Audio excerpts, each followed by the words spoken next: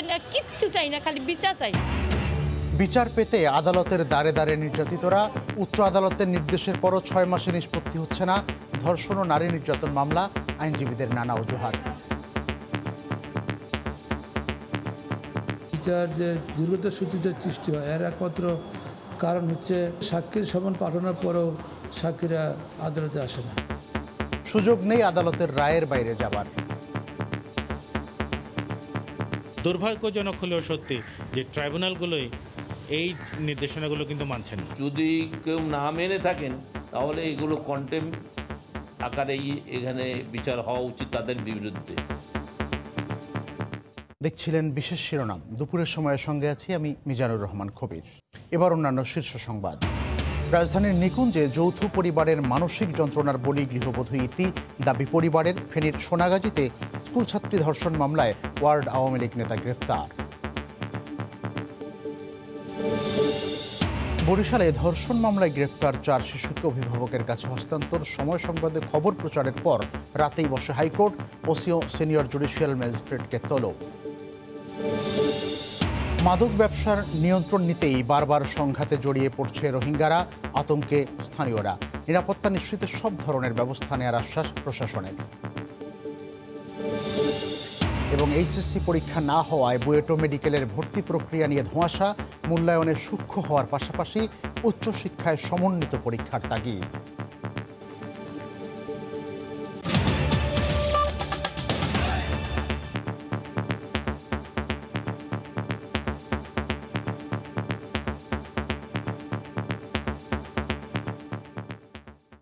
আদালতের রায়েই মানে না আদালত। ধর্ষণ ও নারী নির্যাতনের মামলা ছয় মাসের মধ্যে।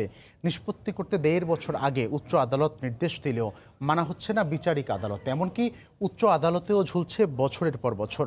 আর আইনেরই ফাঁক করে জামিনে বের হয়ে যায় অনেক আসামি। রিপোর্ট আফজাল হোসেনের।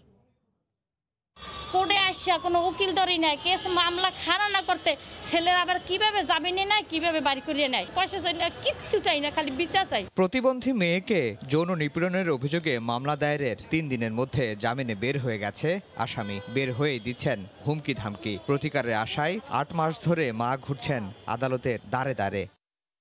বিচারে গতি আনতে এবং ঝুলে থাকা মামলার বোঝা কমাতে দেড় বছর আগে সাত দফা নির্দেশনা দিয়েছিলেন উচ্চ আদালত। ছয় মাসের মধ্যে মামলা নিষ্পত্তির সময় বেঁধে দিলেও এর কোনো প্রভাব পড়েনি বিচারে। আদালত ঘুরে যার সত্যতা মিলে এমন পরিস্থিতি দেখে হতাশ উচ্চ আদালত। যদি এটুকু আমরা মেনে চলতে পারি তাহলেও কিন্তু এই ধরনের মামলাগুলো দ্রুত নিষ্পত্তি করা সম্ভব। কিন্তু দুর্ভাগ্যজনক হলেও সত্যি যে ট্রাইব্যুনালগুলোই এই নির্দেশনাগুলো কিন্তু মানছেন না। যদি কেউ না মেনে থাকেন তাহলে এগুলো কন্টেম আকারেই এখানে বিচার হওয়া উচিত তাদের বিরুদ্ধে। রাষ্ট্রপক্ষের আইনজীবীরা দিলেন নানা অজুহাত। বিচার যে দীর্ঘতার সূত্রিত সৃষ্টি হয় এর একমাত্র কারণ হচ্ছে তদন্ত ব্যাপার তো আছেই অনেক সময় তদন্ত দেরি হয়ে যায় তারপরে সাক্ষী না আসে।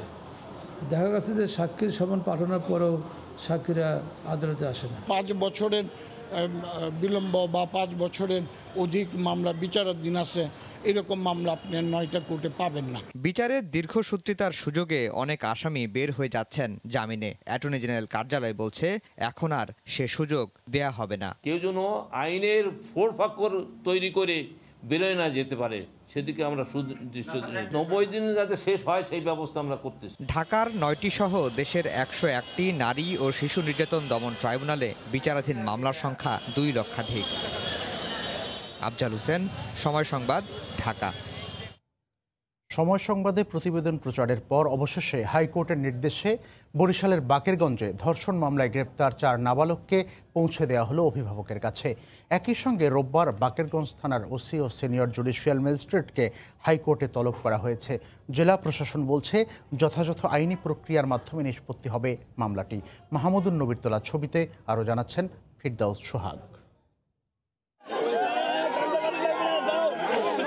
ধর্ষণ মামলার আসামি সাত থেকে নয় বছরের চার শিশু গ্রেপ্তারের পর আদালতের নির্দেশে তাদের পাঠানো হয় যশোর কিশোর উন্নয়ন কেন্দ্রে। ভয় আর আতঙ্কে ছিল শিশুগুলো। উৎকণ্ঠায় ছিলেন তাদের বাবা মাও। এ নিয়ে বৃহস্পতিবার সময় সংবাদে প্রতিবেদন প্রচারের পর রাতেই স্বপ্রণোদিত হয়ে হাইকোর্ট বসে। হাইকোর্টের নির্দেশে বরিশালের শিশু আদালতের বিচারক আবু শামীম আজাদ আদেশ দেন ওই চার নাবালককে অভিভাবকের কাছে পৌঁছে দেওয়ার। অবশেষে হাইকোর্টের নির্দেশে শুক্রবার সকালে তাদের পৌঁছে দেওয়া হলো অভিভাবকের কাছে। এতে স্বস্তি প্রকাশ করেন তারা। ওরা হইলে আপনার পার্টিসের মাল বেছে এখান থেকে কর্মচারী যাওয়া আসা করে আমাদের বাড়ির উপর থেকে। ওদেরকে মানা করা হয়েছে যে আমাদের মেয়ে বড় হয়েছে তোমরা এখান থেকে যাব না। এবার এই ডিলে বিতর্ক হয় হওয়ার পর যে বাদী হুমকি দিয়েই একটা ডাইরেক্ট বলছে যে দেখাই দেবো। এটা ষড়যন্ত্র হয়েছে। ওদের সাথে আগেও আমাদের একটু কথা কাটাকাটি অনেক জমি নিয়ে হয়েছে। এরপরেই মানে এইগুলো ঘটছে। আমার ছেলে আমার বুকে আইছে আমার বলার কিছু নাই আমি প্রধানমন্ত্রীর কাছে সুষ্ঠু বিচার চাই। স্থানীয় প্রশাসন বলছে আইনি প্রক্রিয়ার মাধ্যমে দ্রুত মামলাটি নিষ্পত্তি করা হবে। ভিকটিম সহ আমাদের থানায় এসেছিল। আমরা সেই পরিপ্রেক্ষিতে মামলা নিয়েছি। তদন্ত না করেই আপনারা কোনো একটা প্রভাবের কাছে প্রভাবের কারণে ওই শিশুদেরকে চ্যাংদোলা করে নিয়ে গেছেন কি না না এগুলো সত্য না। বিজ্ঞ আদালতের নির্দেশনা মোতাবেক বাচ্চাদেরকে তাদের পরিবারের কাছে হস্তান্তর করা হয়েছে এবং পরবর্তী বিষয়টি তদন্তাধীন রয়েছে এবং তদন্তে সবকিছু বেরিয়ে আসবে বলে আমার বিশ্বাস। এদিকে রোববার বাকেরগঞ্জ থানার ওসি ও সিনিয়র জুডিশিয়াল ম্যাজিস্ট্রেটকে হাইকোর্টে তলব করা হয়েছে। আগামী এগারো তারিখ রবিবার সকাল এগারোটায় মহামান্য হাইকোর্ট ডিভিশনে এই চার শিশু সহ তার অভিভাবক এবং বাকেরগঞ্জ থানার ওসিকে আদালতে হাজির হওয়ার নির্দেশ দেওয়া হয়েছে। গত রোববার ছয় বছরের প্রতিবেশী মেয়ে শিশুর সঙ্গে বাড়ির পাশের বাগানে খেলছিল চার ছেলে শিশু। তাদের আসামি করে গত মঙ্গলবার বাকেরগঞ্জ থানায় ধর্ষণ মামলা করেন মেয়ে শিশুর বাবা। পরে অভিযুক্তদের গ্রেফতার করে আদালতে পাঠায় পুলিশ। বুধবার বিকেলে সিনিয়র জুডিশিয়াল ম্যাজিস্ট্রেট বাকেরগঞ্জ আমলি আদালতের বিচারক এনায়েতুল্লার নির্দেশে তাদের যশোর কিশোর উন্নয়ন কেন্দ্রে পাঠানো হয়। ফিরদাউদ সোহাগ, সময় সংবাদ। বরিশাল। রাজধানীর নিকুঞ্জের একটি বাসা থেকে গৃহবধূর মরদেহ উদ্ধার করা হয়েছে। শ্বশুরবাড়ির লোকজন আত্মহত্যা বললেও রফিকা রোমা ইতির স্বজনদের দাবি, যৌথ পরিবারে মানসিক যন্ত্রণায় ছিলেন গৃহবধূ ইতি। ময়নাতদন্তকারী চিকিৎসক জানিয়েছেন, ভিসেরা পরীক্ষার জন্য নমুনা পাঠানো হয়েছে। সব কিছু পর্যালোচনার পর মৃত্যুর কারণ সম্পর্কে জানা যাবে। চিরদিনের জন্য নিভে গেল রফিকা রুমি ইতের জীবন প্রতীক। স্বজনদের সজল ছলছল চোখ আর গুমর কান্নাই ভারী ঢাকা মেডিকেল কলেজ হাসপাতালের মর্গ। শ্বশুরবাড়ির লোকজন জানান, রাতে ইতির সঙ্গে কথা কাটাকাটি হয় স্বামীর। রাত দুটার দিকে ঘুমিয়ে পড়েন স্বামী। ঘুম থেকে উঠে সাড়ে তিনটার দিকে ব্যালকনিতে গলায় কাপড় ঝুলিয়ে থাকতে দেখেন ইতিকে। শ্বশুরবাড়ির লোকজন আত্মহত্যা বললেও কোনো আওয়াজ পাননি বলে দাবি তাদের। কথা কাটাকাটি সাত মিনিট। এর ভিতরে সব কিছু গোছকাজ করছে, সে চলে যাবে। আমি আটকায় রাখছি। পরে তো আমি ঘুমাইলাম, পরে ওইটা দেখি অবস্থা।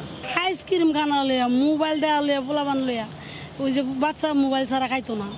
তাহলে আমি কইছিলাম তো সবাই মোবাইল দেয়। তো একটু দেয় খাওয়াইলাও এটুকুই আমি জানি। এদিকে শ্বশুরবাড়ির বক্তব্যের সঙ্গে দ্বিমত ইতির স্বজনদের। তাদের ধারণা ইতিকে হত্যা করা হয়েছে। বলেন যার ছিল অদম্য প্রাণশক্তি ছিলেন মানসিকভাবে দৃঢ় উপভোগ করতে জানতেন জীবনী শক্তি আগে কখনো দেখা যায়নি হতাশাবোধ তিনি কোনোভাবেই আত্মহত্যা করতে পারেন না। প্রশ্ন তুলেন ননদ ও শাশুড়ির ভূমিকা নিয়েও। ওর ননদের সাথে বেশি ঝগড়া লাগতো। ননদ ওকে সহ্য করতে পারতো না। নিজেদের মধ্যে একটু ঝামেলা হয়েছে। আর ওনার শাশুড়ি এসেও বলছে মানে এখানে এসে বলছে যে বাচ্চাকে নিয়ে একটু ঝামেলা হয়েছে। এখন দুজনের কথা তো দুই রকম। এটা আত্মহত্যা না এটা হত্যা হতে পারে। এটার জন্য আসলে সুষ্ঠু একটা তদন্ত জোরালো দাবি জানাচ্ছি। এদিকে ময়না তদন্তকারী চিকিৎসক জানান গলায় দাগ পাওয়ার পাশাপাশি হাতে একটি আঘাতের চিহ্ন পাওয়া গেছে। তার গলার দাগ অনুযায়ী এটাকে বলা হয় আমাদের কাছে এখন মনে হচ্ছে এটা সুইসাইডের সাথে যায়। তারপর আমরা যেহেতু তার হাতের একটা ইনজুরি পাইছি এবং পাশাপাশি আমরা তার ভিসেরা পাঠাইছি সবগুলা যখন আসবে তখন আমরা একটা কনক্রিট ডিসিশন দিতে পারব যে আসলে এটা কীভাবে মারা গেছে। আর পুলিশ বলছে খতিয়ে দেখা হবে সবকিছু। অনেক তো কিছু বলা যাচ্ছে না আমরা তদন্ত করছি পরবর্তীতে তদন্ত করে যতটুকু ভিক্টিম আইনগত সহায়তা দেওয়ার দরকার আমরা সবাইকে আইনগত সহায়তা দিব। এ ঘটনায় মামলা করা হবে বলে জানান ইতির স্বজনরা। ফারুক ভিয়া রবিন সময় সংবাদ ঢাকা। এই মুহূর্তে ঢাকা মেডিকেলে আছেন রিপোর্টার ফারুক ভুইয়া। রবিন, আমরা সরাসরি তার কাছে যাচ্ছি বিস্তারিত জানতে। রবিন। কবির, আসলে যদি বলতে যাই যে একজন নারীর রহস্যজনক মৃত্যুর যে সংবাদটি আমাদের নিশ্চয়ই আগের সংবাদে দেখেছেন, তো সেই নারীর ময়নাতদন্ত শেষে আসলে যে তার মরদেহ এটি আসলে যে নিয়ে যাওয়া হচ্ছে বগুড়ায় তার গ্রামের বাড়িতে। তবে একটি বিষয় কিন্তু এটি উল্লেখ করার মতন আমরা আসলে যেটি দেখছি যে তার স্বজনদের ভিড় এই ঢাকা মেডিকেল কলেজ হাসপাতালের মর্গি এলাকায় এবং তার স্বামীর বাড়ির তরফ থেকে যদিও একটি আত্মহত্যা বলে দাবি করা হয়েছে, কিন্তু তার যে, নিহতের যে স্বজন, তারা আসলে যেটি বলেছেন, তিনি কোনোভাবে আত্মহত্যার করার কথা না। হয় তাকে যৌথ পরিবারের বলি হয়ে তিনি আসলে এই কাজটি করতে বাধ্য হয়েছেন, নতুবা তাকে হত্যা করা হয়েছে এবং ফ্যামিলির তরফ থেকে যে বর্ণনা দেওয়া হয়েছে, সেটি নিয়েও তারা প্রশ্ন তুলেছেন। অন্যদিকে পুলিশের সঙ্গে কিছুক্ষণ আগে পুলিশের ভাটারা খিলক্ষেত থানার একজন পুলিশ কর্মকর্তার সঙ্গে কথা হয়েছে। তিনি আসলে যেটি বলেছেন, অভিযোগগুলো যেগুলো রয়েছে, সবগুলো আসলে খতিয়ে দেখে তারা ব্যবস্থা নেবেন। আমার সঙ্গে আসলে যিনি নিহত হয়েছেন, সেই নিহত নারী রফিকা ইতির বড় ভাই সাংবাদিক হুমায়ুন কবির রোজ রয়েছেন। আমার সঙ্গে আমি একটু তার কাছে একটু জানতে চাইব যে আপনারা আসলে, আপনারা তো পুলিশের বক্তব্য শুনলেন একটু আগে ময়নাতদন্তকারী কর্মকর্তারও তিনি বক্তব্য দিয়েছেন। কিন্তু তারপরেও দেখেছি যে আপনাদের মধ্যে একটি যে সন্দেহের অবকাশ রয়ে গেছে। তো আপনারা কি মনে করছেন? এই যে মৃত্যুর পিছনে মোটিভটা কি থাকতে পারে? আমরা খুবই সন্দেহ করছি বিষয়টা, কারণ ইতি আমার ছোট বোন যে রকম জাগ্রত মন মানসিকতা যেরকম মানে স্ট্রাগল করতে জানে ফাইট করতে জানে, যতটুকু সচেতন, বাচ্চা, সংসার সব কিছু নিয়ে হ্যাপি সে সামাজিক উন্নয়নমূলক বিভিন্ন কাজের সাথে জড়িত, পাশাপাশি সে এক সময় স্কুলে লেখাপড়া করাতো। লাইফটাও এনজয় করছিল। কিছুদিন পরশু দিনও আমার সাথে সর্বশেষ যখন কথা হলো, তখনও ওর বাচ্চার আকিকার বিষয় নিয়ে কথা হলো। তো, আর যে হঠাৎ করে এরকম খবর বা এইরকম ব্যাপারটা এটা কখনো মেনে নেওয়ার মতো না, সেটা হচ্ছে যে ও আত্মহত্যা করতে পারে না। প্রথম কথা হচ্ছে কখনো আত্মহত্যা করতে পারে না। আর একটা বিষয় আমি যতটুকু জানি, ওর শাশুড়ি এবং ননদ যিনি আছেন, অকথ্য ভাষায় মাঝে মাঝে গালি গালাজ করতো, যেগুলো আসলে আত্মসম্মান বোধে লাগার মতো। আমি নিজেও একদিন গিয়ে এটা মিট করেছি। পরে দেখেছি আমার বোনের না, শাশুড়ির প্রবলেম আছে, আমার সামনে করতো। তারপরে ইতি মানে সেইগুলারই কি ধারাবাহিকতা? হ্যাঁ ফ্যামিলি থেকে একটা প্রেশার না আসলে তো আমি আপনার সুস্থ মানুষ কেন আমরা সুইসাইড করব? আর ইতি সুইসাইড করার মতো না। ও যে রকম মেন্টালিটি যতটুকু মানুষ শক্ত মানুষ হয় সুইসাইড না একটা সুষ্ঠু বিচ- বিচার আশা করছি যে আসলে সুষ্ঠু তদন্তের মাধ্যমে হয়তো আসলে কবির যেমনটি দেখছিলেন যে সাংবাদিক হুমায়ুন কবির রোজ যিনি আসলে এই রফিকা ইতির বড় ভাই তিনি যেটি আরেকবার তিনি দাবি করলেন যে আসলে তার বোন আত্মহত্যা করার কথা না হয়তো বা তা- তিনি যৌথ পরিবারের যে বলি হয়েছেন কিংবা তাকে হত্যা করা হয়েছে যদিও পুলিশ বলেছে সবকিছু তদন্ত করে দেখা হবে। তো এই ছিল আমার কাছে সবশেষ কবির। ঢাকা মেডিকেলের মর্গ থেকে জানাচ্ছিলেন ফারুক ভিয়া রবিন রাজধানীর নিকুঞ্জ থেকে গৃহবধূর লাশ উদ্ধার করা হয়েছে সে বিষয়ে বিস্তারিত। এই মুহূর্তে জেলার সদর হাসপাতালের সামনে আছেন সহকর্মী আতিয়া সজল। বিস্তারিত জানতে আমরা সরাসরি তার কাছে যাচ্ছি। সজল। কবির, এই যে ঘটনার ভুক্তভোগী যে কিশোরী বা সপ্তম শ্রেণির যে ছাত্রী, সে কিন্তু যে সম্পর্কে আসলে চাচা হয় সেই ভাতিজিকে যে ধর্ষণ করেছে, সেই ধর্ষককে আপনি জানেন যে বারোটার কিছুক্ষণ আগেই ফেনীর আদালতে আনা হয়েছে এবং তাকে হয়তো কিছুক্ষণ পরে যে ফেনীর যে চিফ জুডিশিয়াল ম্যাজিস্ট্রেটের আদালতে যে বিচারক রয়েছে, senior judicial magistrate Mohammad Kamrul ইসলামের আদালতে তাকে তোলা হবে, দশ দিনের রিমান্ড চেয়ে এবং আপনাকে আরেকটি তথ্য জানিয়ে রাখি যে আইনিগতভাবে এই যে কিশোরীর শারীরিক যে ডাক্তারি পরীক্ষার জন্য ফেনীর যে দুশো পঞ্চাশ হাজার বিশিষ্ট এই জেনারেল হাসপাতালে নিয়ে আসা হয়েছে। এবং এখানকার যে আবাসিক চিকিৎসক রয়েছেন যে কর্মকর্তা রয়েছেন, ডাক্তার ইকবাল, তিনি আমাদেরকে জানিয়েছেন এই কিশোরীর বা এই ছাত্রীর শারীরিক পরীক্ষার জন্য ডাক্তার তাহের আক্তার তার নেতৃত্বে তিন সদস্যের একটি কমিটি করে দেওয়া হয়েছে যার তার শারীরিক পরীক্ষা করা হবে এবং শারীরিক পরীক্ষা শেষেই তাকে ফেনীর আদালতে বাইশ ধারায় জবানবন্দির জন্য বিকেলে হয়তো তোলা হতে পারে। আর আপনাকে একটি তথ্য জানিয়ে রাখি যে এই ঘটনার ফেনীর যে পুলিশ সুপার যে সহকারী পুলিশ সুপার রয়েছেন মাইনুল ইসলাম, তিনি জানিয়েছেন, এই ঘটনায় যে যুক্ত, তারা অভিযোগ পাওয়ার সাথে সাথেই কিন্তু তাকে গ্রেপ্তার করেছে এবং গ্রেপ্তারের পর থেকে তার থেকে যে অধিক তদন্তের জন্য এই আসামিকে দশ দিনের রিমান্ড চেয়েছেন, যাতে করে এই ধর্ষণ বা ইনাক্কারজনক ঘটনার সাথে অন্য কেউ সহযোগী হিসেবে আছে কিনা বা এতদিন পরে কেন এই ঘটনা জান না বা ওই যে অভিযুক্ত ব্যক্তির যে হুমকি দিয়েছে, যে কিশোরী জানিয়েছেন, যে ছাত্রী জানিয়েছেন তাকে এবং তার পরিবারকে হত্যার হুমকির কারণে এতদিন আসলে সে মুখ খুলতে সাহস পায়নি এবং কোন ধরনের হুমকি দিয়েছিল এবং কেন হুমকি দিয়েছিল, এর সাথে অন্য কেউ যুক্ত আছে কিনা বিষয়টি অধিক তদন্তের জন্য এই আসামিকে রিমান্ড চেয়েছেন এবং তারা জানিয়েছেন যে আইনগতভাবে যাতে সর্বোচ্চ শাস্তি নিশ্চিত করা হয়, সেই ব্যাপারটি তারা তারা গুরুত্ব দিয়ে দেখবেন বলে আমাদেরকে জানিয়েছেন। এই ছিল এখানকার সবশেষ অবস্থা। কবির ফেনীতে সপ্তম শ্রেণীকে, শ্রেণির এক ছাত্রীকে ধর্ষণ মামলায় গ্রেফতার হয়েছে একজন, এ বিষয়ে বিস্তারিত জানাচ্ছিলেন আতিয়ার সজল।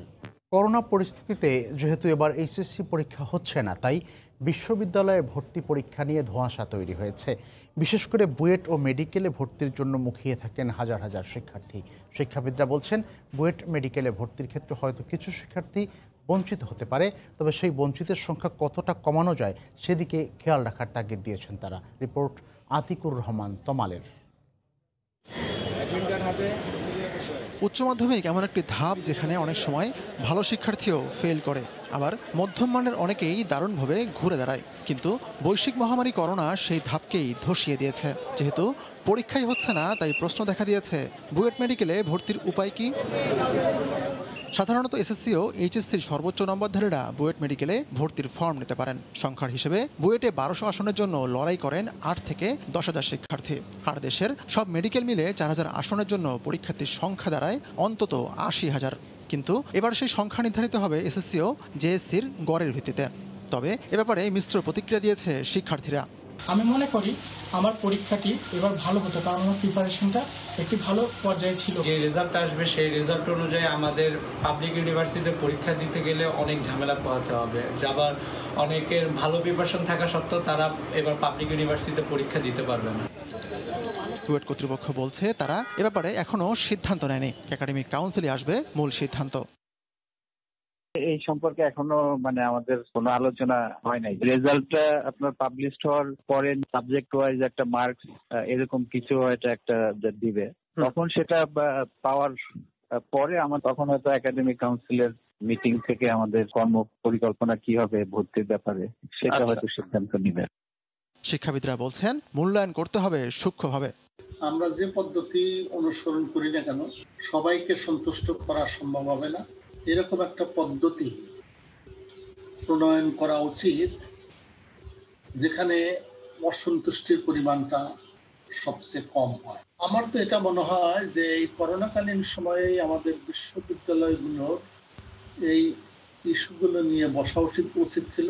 শিক্ষাবিদরা আরও বলছেন, যেহেতু করোনার কারণে পরীক্ষাই হলো না, তাই করোনা ঠেকাতে মেডিকেল ও কৃষি বিশ্ববিদ্যালয়ের মতো এবার সব প্রকৌশলও সরকারি বিশ্ববিদ্যালয়গুলোতেও সমন্বিত পরীক্ষা নেওয়া উচিত। হাতিকুর রহমান তমাল সময় সংবাদ, ঢাকা। মাদক ব্যবসা নিয়ন্ত্রণে নতুন পুরনো রোহিঙ্গারা বারবার সংঘাতে জড়িয়ে পড়ছে।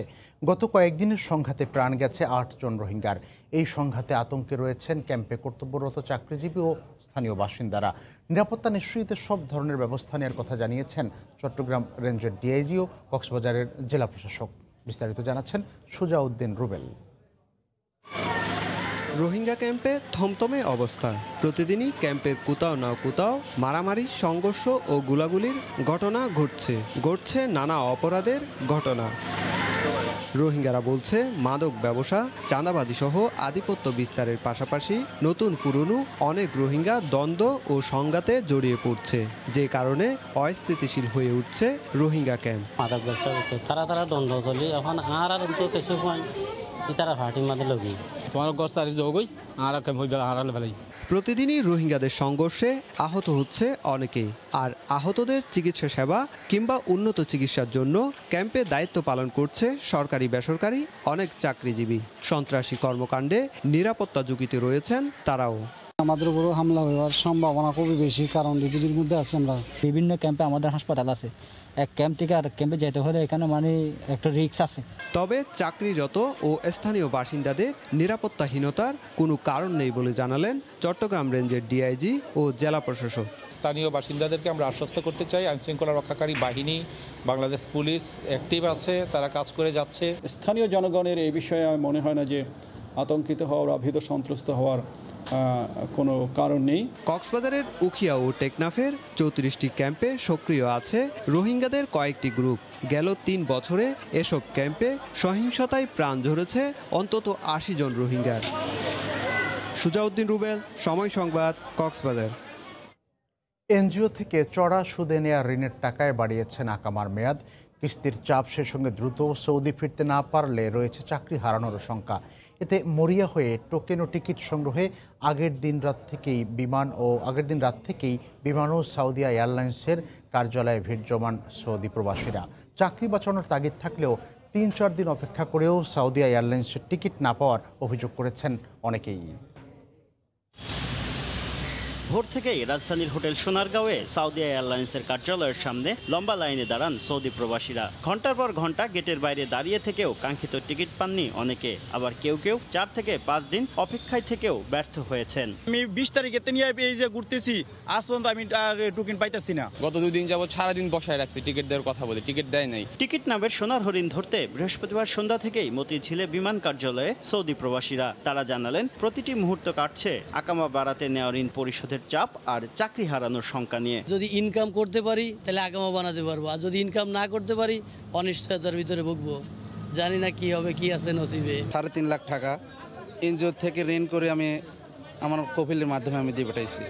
এখন জানি না যে এই টাকা কীভাবে আমি শোধ দেবো। আগেকার কাজের সিস্টেম আমার পাবো কি না এখন আমি নিশ্চয়তা নাই। শুক্রবার সকাল দশটার পর থেকে বিমানের টোকেন ও টিকিট বিতরণ শুরু হয়। টিকিট দিয়েছি আমরা পঁচিশ তারিখে। পনেরোটার সময় বাইশ তারিখ সকাল দশটা দশ টাকা লাগবে কোম্পানিতে যে কাজে যোগ দিতে পারব ভোগান্তি কমাতে দুই ঘণ্টা আগে অর্থাৎ প্রতিদিন সকাল আটটা থেকে টিকিট ও টোকেন দেওয়ার দাবি জানান সৌদি প্রবাসীরা। শুভ খান সময় সংবাদ ঢাকা। দুশো টাকায় ঠেকেছে কাঁচামরিচের কেজি। পঞ্চাশ টাকার নিচে মিলছে না শাকের আটি। প্রতি পিস পেঁপে ও চালকুমড়া চল্লিশ টাকায় মিললেও গাইবান্ধার পুরাতন বাজারে প্রকারভেদে ষাট থেকে একশো চল্লিশ টাকায় বিক্রি হচ্ছে সবজি। এজন্য ব্যবসায়ীরা বন্যার দোহাই দিলেও সিন্ডিকেটকে দায়ী করছেন ভোক্তারা। আতাউল হক সাগরের ক্যামেরা রিপোর্ট, হেদায়তুল ইসলাম বাবুর। শহরের বাসিন্দা মামুনুর রশিদ। মাছ মাংস বাদে সবজির জন্য তার শুক্রবারের বরাদ্দ ছিল তিনশো টাকা। আটশো টাকাতেও ব্যাগের তলানিতে শাকসবজি। বাজারে মধ্যবিত্তদের যখন ঘাম ছুটছে তখন নিম্নবিত্তদের অবস্থা আরও কাহিল। আগে আমরা এক কেজি করে এক কেজি নিচে কিনতাম নাকি কাঁচা বাজার পটল বেগুন এগুলি।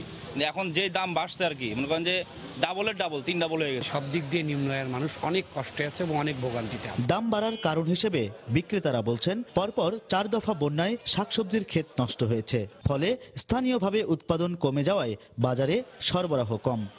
আমদানি না হলে তো আর হচ্ছে না। সবজির দাম কম দিয়েছে না।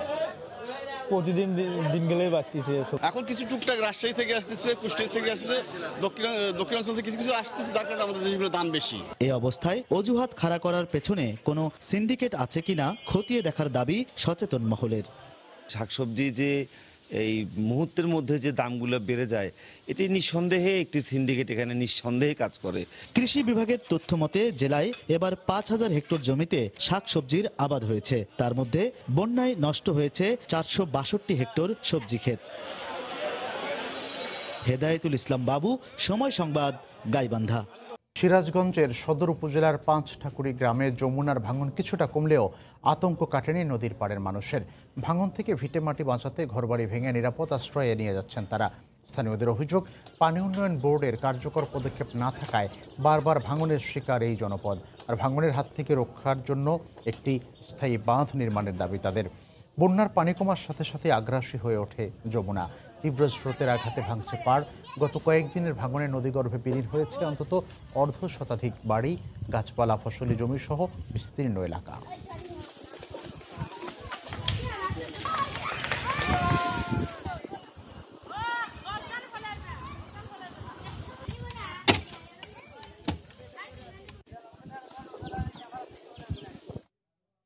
মুন্সীগঞ্জের সিরাজদিখান উপজেলার তালতলায় ধলেশ্বরীর শাখা নদীতে ষাট নৌকার বেদে বহর এই বহরের স্কুলগামী পঞ্চাশ শিশু, এই শিশুদের পড়াশোনা করাচ্ছেন আলোকিত শিশু স্কুলের কর্মকর্তারা। অন্যান্য স্কুলের শিক্ষার্থীরা ভার্চুয়াল পড়াশোনা করলেও বেদে শিশুদের সেই সুযোগ নেই, তাই স্কুলটির দুই শিক্ষক ভোরে নৌকায় নৌকায় গিয়ে শিশুদের পড়াশোনা করাচ্ছেন। বিস্তারিত জানাচ্ছেন নাসির উদ্দিন উজ্জ্বল। ফাহিমা আক্তার আলোকিত শিশু স্কুলের তৃতীয় শ্রেণির ছাত্রী। নৌকায় বসবাস হলেও বড় হয়ে বাবা মায়ের মতো সাপে খেলা ফিঙ্গা লাগানো মাছ ধরা চুরি বিক্রি না করে শিক্ষক হয়ে নিজে এবং সমাজকে আলোকিত করতে চায়। স্যার আমাদের নৌকা এসে আমাদের পড়াচ্ছেন।